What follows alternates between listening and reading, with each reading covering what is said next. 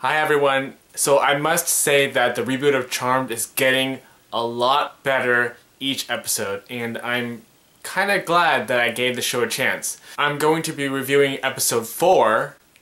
To sum it all up, this episode is about the witches working together to save Angela Wu. In the meantime, their elder, Charity, pops in to visit and help them along the way. Instead of just being a presence and just popping in here and there, it seems like the elders are more involved with whatever is going on. I find that's neat. One thing I must say is that this show definitely needs a full opening song. And I'm not even just saying that to compare to the original Charmed. I'm saying that as a show, it needs a full opening. I'm done with these 15 second snaps of just the title of the show. I don't know if it's just me, but I feel like the openings make the TV show. It kind of sets the mood. In this episode, I like the backstory of Angela. I feel like it's important story to tell, and basically Angela was sexually harassed, and she's dealing with the aftermath. She gets to learn that she's not alone,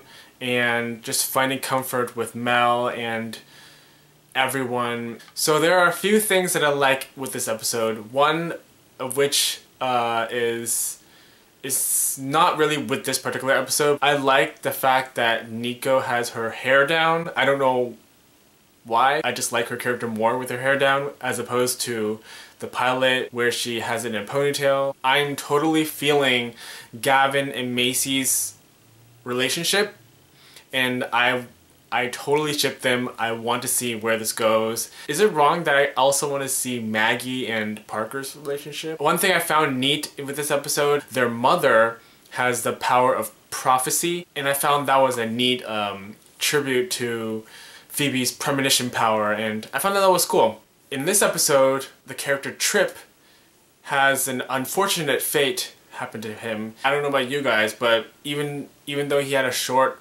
screen time, I kind of liked his character.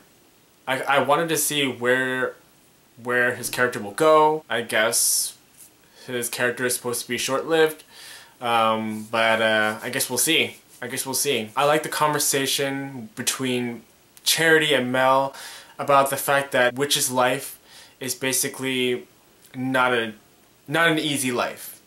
And It does bring consequences. I remember reading an article before the reboot of Charmed premiered that this reboot is going to have a couple similar to the OG Charmed. And after watching this episode and after watching the the sneak peek of the next episode, I am assuming that it's going to be Niko and Mel. I feel like this couple is the same as Andy, Trudeau, and Prue. I'm assuming that Niko is going to die at the end of this season. But that's just my theory. Do you have any thoughts?